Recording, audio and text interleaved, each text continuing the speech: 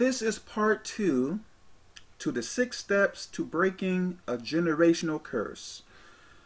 So let's go to step four. Okay, here we are.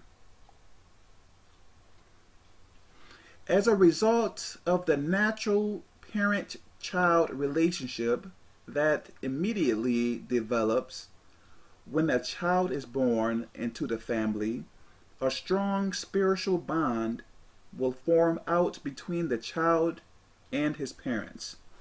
Even if one or both of the parents end up abusing that child over a period of many years, this is why it is such a shook, a shock to a child's senses when they first start to receive any kind of extreme abuse from the sinning abusive parent. Their first natural reaction is that there must be something wrong with them, or that they must have done something wrong themselves to warrant receiving this kind of abusive behavior. It isn't until the child starts to get older, wiser, and smarter that they start to see the abusive and sinning parent for what they really are. Someone who is acting out on very sick and evil impulses with no efforts to try and control it. When a sinning, abusive parent gets this far out of control and is doing horrible things to their children, then what the child must do when they get old enough to understand all of this is to break any ungodly and unhealthy soul ties that may have formed out earlier on in the family with this sinning parent. This sinning parent will always be your natural parent by blood. But that does not mean you have to stay spiritually attached to this evil, sinning, and dysfunctional parent. A soul tie is any type of spiritual bonding that can occur between two people who have entered into any kind of personal relationship. A soul tie can occur between two spouses, two friends, two siblings, and between a parent and a child. A soul tie can be good and healthy. 1. Like that occurs between two people who marry for true love and who are capable of loving their children and their friends in a good and godly manner. However, a soul tie can also be a bad one where the personal relationship becomes dysfunctional, with one of the persons becoming the dominant and abusive one in the relationship, and the other person becoming the submissive one who is being abused and hurt by the dominant person. What happens in the spiritual realm is that when one person is being severely abused and dominated by the other, an ungodly and unhealthy soul tie can develop. And if that kind of unhealthy soul tie develops during the abusive relationship, then it has to be completely broken broken in order to be completely set free from both the abuser and any demons who may be attacking you as a result of the legal rights given by the abuser to the demons. Demons will move in to feed off any kind of unhealthy soul tie that can develop. So you have to make sure that any of these kinds of destructive soul ties get completely broken. When you go into this kind of battle prayer, give me one second, please.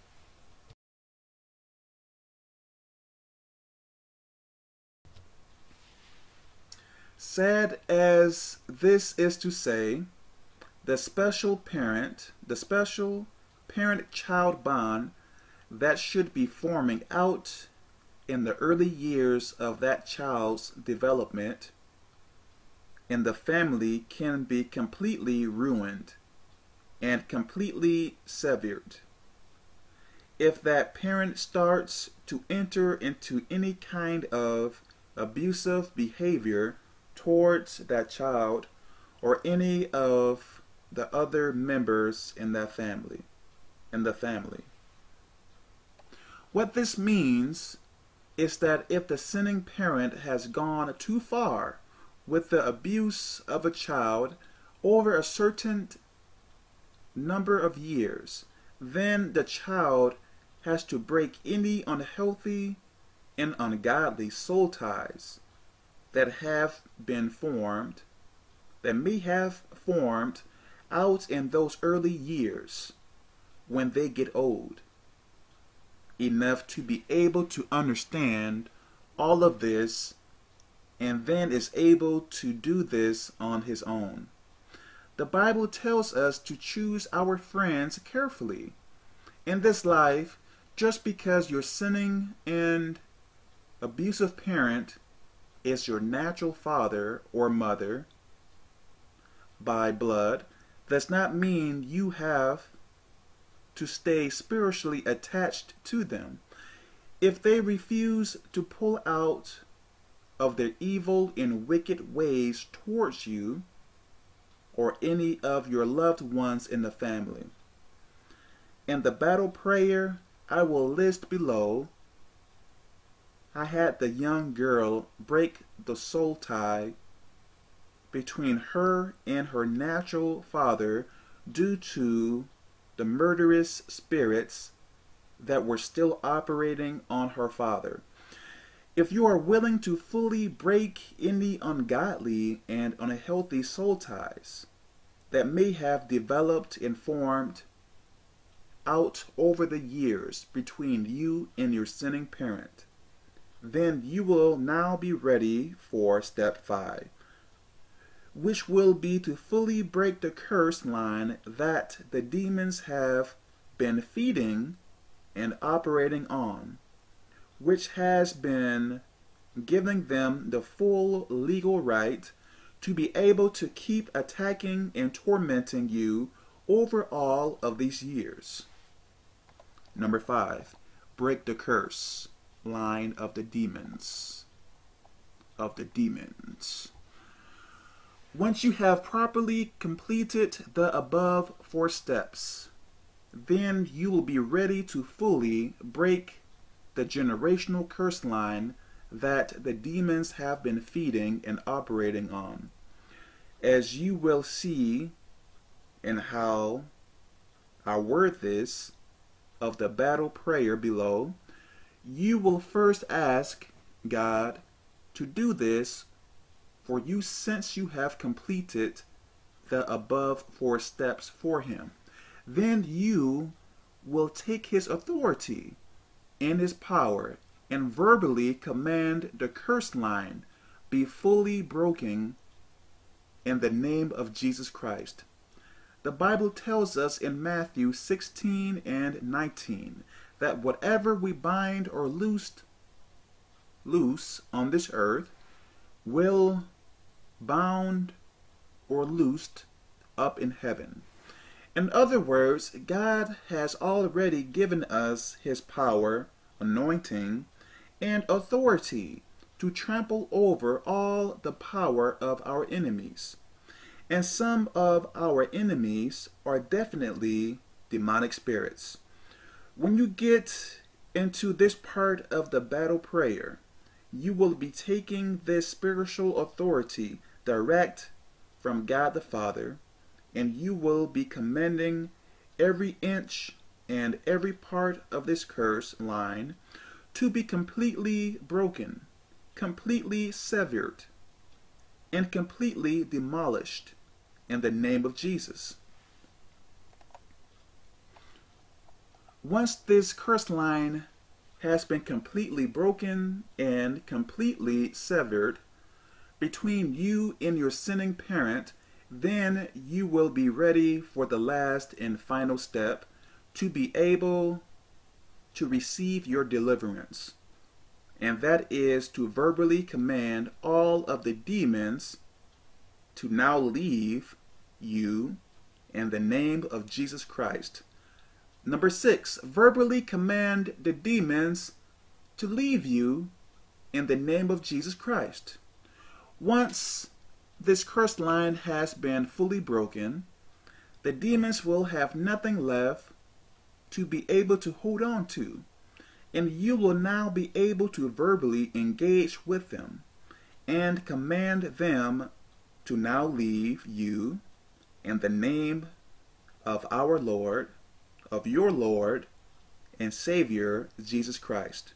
Again, I will show you how to word out this kind of battle command in the battle prayer below. Remember, the Bible tells us that the Word of God is our sword. You directly engage with demons by verbally engaging with them. If you try and verbally command the demons to leave you without completing the above five steps, their legal rights will not have been properly broken and they will not leave. You must first make sure that you have properly completed all five of the hmm, completed all five of the above steps before you actually step into the arena with these demons to command them to now leave you in the name of Jesus. Okay, this looks like the end, I believe. Okay. So this is part two to the six steps to breaking a generational curse. God bless.